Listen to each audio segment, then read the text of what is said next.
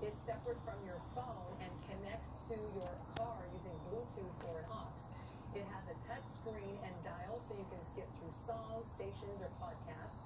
The car thing costs 80 bucks. Right now, you can get it for the $7 it costs to ship it if you have Spotify Premium. More changes could be in the works for Instagram. The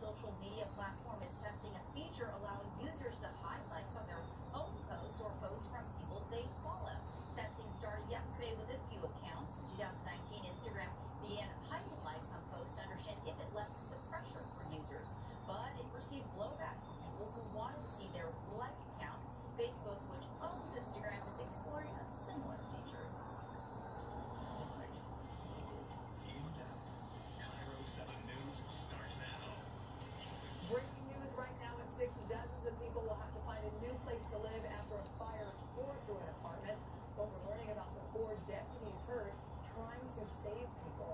Today, the majority of people in our state are now eligible for the COVID vaccine, the new tool that will notify you the second an appointment opens up. Plus, adding hygiene stations at homeless camps in Tacoma. We're looking at the plans to add toilets and sinks close to tents and how much that will cost. Good morning to another glorious day.